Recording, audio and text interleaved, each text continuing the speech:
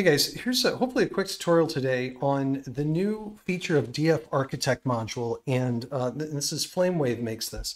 And this module does uh, a lot of things that are helpful, but one thing that's really cool that's new is the tile flattener option. And so I'm going to walk you through this. Well, what you're looking at here is a giant scene, right? So here's here's a token right here, if that gives you a, a sense of scale. This is a giant scene of the docks. And you guys may think that you've seen this scene before because I'm using some of the same artistry to create it. But in fact, this scene was made with tiles. And then I layered on top some of these uh, some of these buildings also from the, the modular system.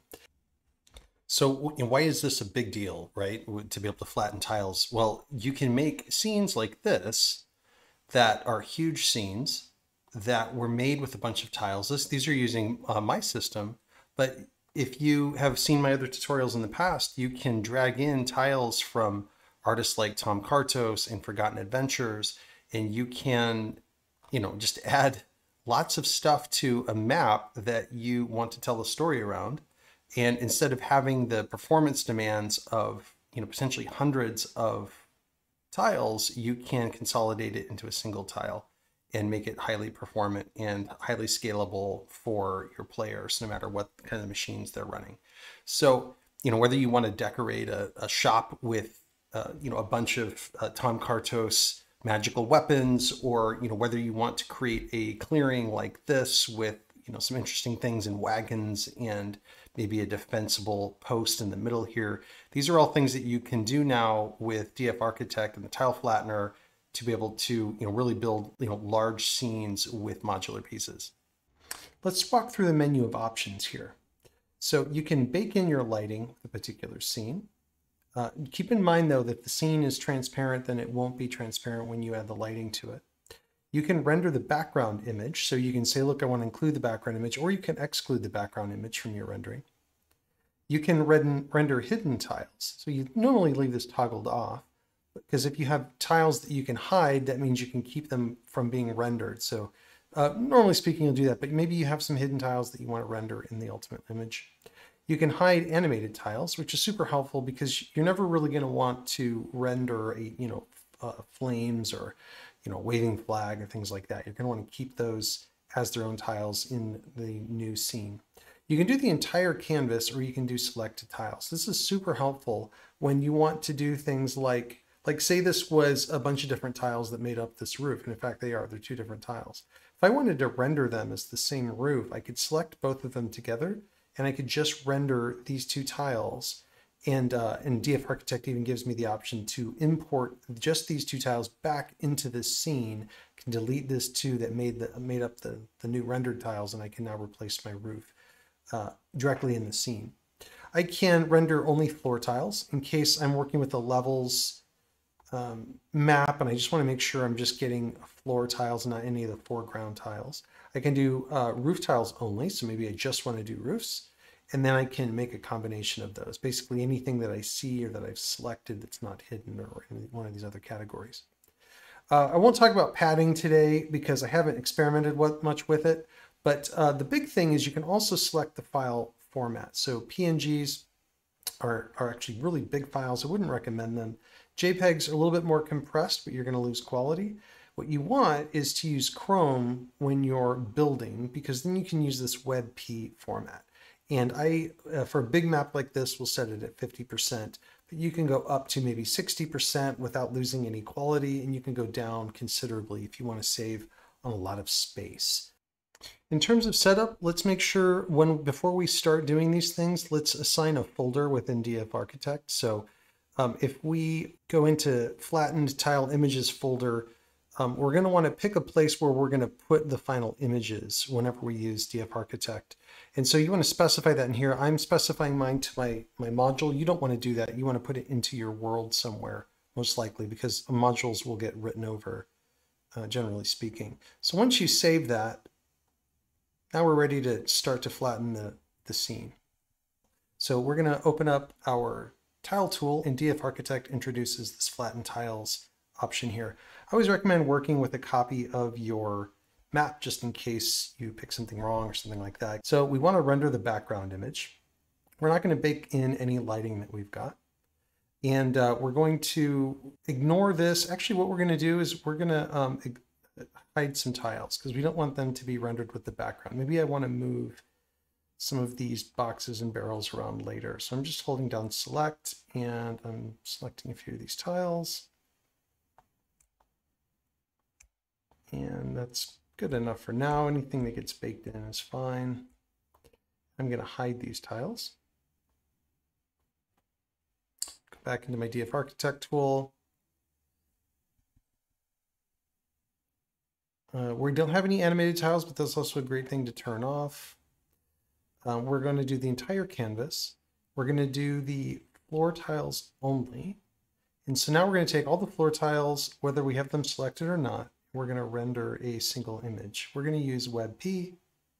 And because this is such a big map, I'm going to reduce it all the way down to about 50% in terms of size.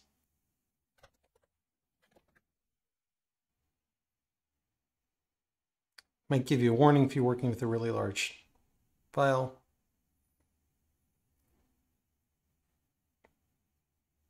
And you need an internet connection to make this work. It's calling out to some libraries, so it uses them only when you need them.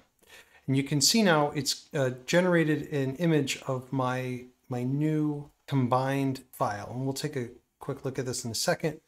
I can either save it to my computer or I can save it directly to the server.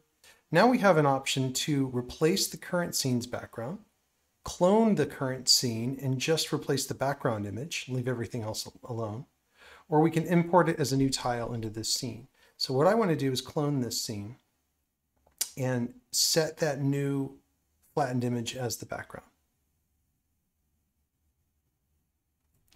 Don't click this too many times. You may click it and it doesn't seem like anything happens. Something's happening and you'll actually create multiple duplicates of your your scene if you click it too many times. So here's the new one that I just created.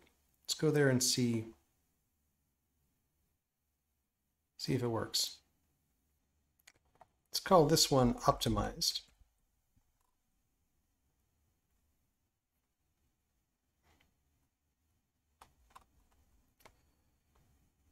And you can see it's been trimmed all the way to the edges of the scene.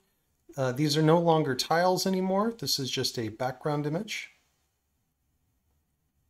I open up my background image and I look at it. Here's the background image of this scene. And it's super efficient, but notice I also have all of my overhead tiles still. So everything still works. All of my multi-story scenes. They all still uh, function. I've just drastically reduced my uh, number of tiles that actually make up this scene. So the other use case for tile flattener is with making your own assets out of other pieces. So all of these bridges are some of my assets for my modular bridge system where they're designed to be able to, you know, make a bridge in any dimension and um, in any width, you know, any dimension, width or length. And so, uh, but what I want to do is turn this into a single tile. So I'm going to go to my architect, hide these animated flag tiles. Don't I don't want to render those. Just my selected tiles and just my floor tiles only. And of course, should have that selected. Let's see how we do.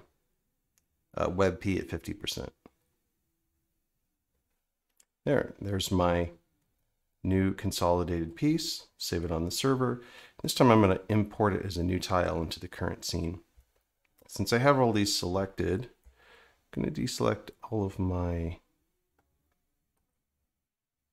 animated flags. I'm going to delete everything else. I'm going to drag my new tile into place.